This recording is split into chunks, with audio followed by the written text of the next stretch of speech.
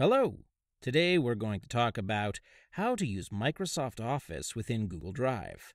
One of the cool things about Google Drive is that this is a viable option. You're not just limited to Google Docs, Sheets, and Slides presentations. These all have great functionality and are very useful in themselves.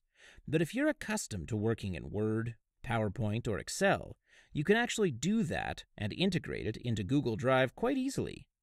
Now to do this, be sure that you have Google Drive installed on your desktop if you don't already, and sync it up with your Google account.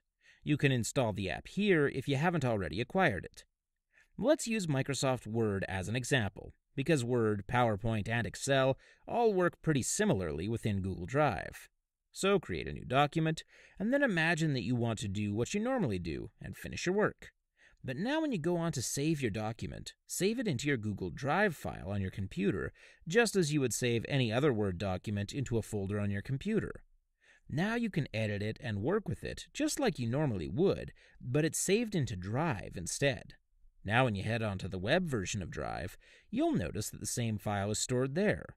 Click on it, and you'll notice that you have some options. You can open it, which will automatically convert it to a Google Doc, preserving your formatting but allowing you to work with the file through your web browser.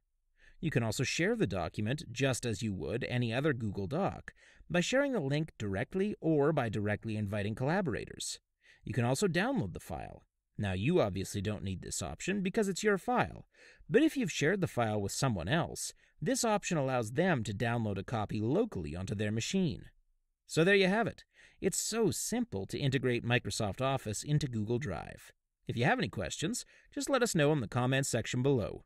Thanks for watching, and have a great day.